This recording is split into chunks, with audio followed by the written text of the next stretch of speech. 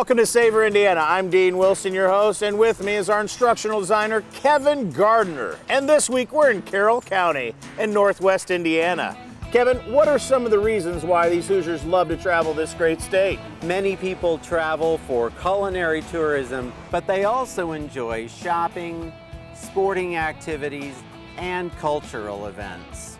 And this is a community that is actively and intentionally rebranding itself to appeal to all these types of tourists.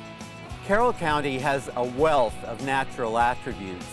Beautiful Lake Freeman, great fishing, and boating spots on the Wabash River and Wildcat Creek. Beautiful golf courses. But it needed a plan to attract more visitors to the community. Historian Bonnie Maxwell's family has lived in Carroll County since the 1800s and she thought she had retired when she had returned home. But she and a cadre of talented volunteers are sparking new life in the old hometown. We're a county of only 20,000 people, and but there are a few hundred people who are very intimately involved in many of these efforts. And were it not for volunteers, these things couldn't be done. How can you get the most out of a visit to Carroll County? The Carroll County Web Portal is a great place to start. We've also developed a number of walking, biking, and driving trails to appeal to the interest of every type of tourist, and copies can be found at various locations around the county. I'd also like you to talk to Susie Dyke, owner of the Grapevine Boutique in Flora.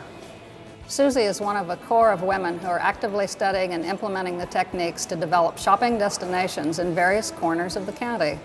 It is extremely impressive to note that this effort is being sought and spearheaded by women who live in some of our smaller communities.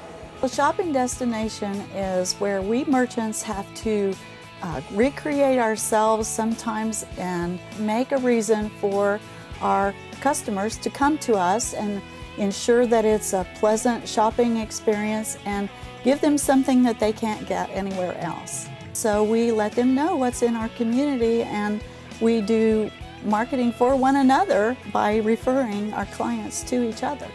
So in Flora, Susie attracts visitors to her boutique with custom jewelry to match special outfits for her clients who travel up to 30 to 75 miles to have Susie help tailor their wardrobes.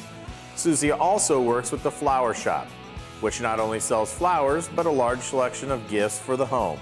They in turn work with Iconberry Furniture, who sell upholstered furniture and lamps made in Indiana. And before we say farewell to Flora, we're directed to a stop in the Porcupine Truffle for lunch and an indulgent dessert and confection.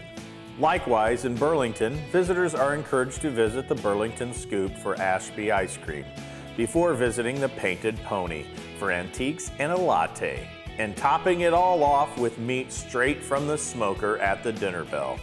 Likewise, in Delphi, a stop at the Martha Rose Decor Shop breeds a visit to the Stonehouse Bakery and Restaurant, or the Sandwich Shop, and the Times Past Antique Shop, the Carroll County Museum, and Mitchell's Mexican Food.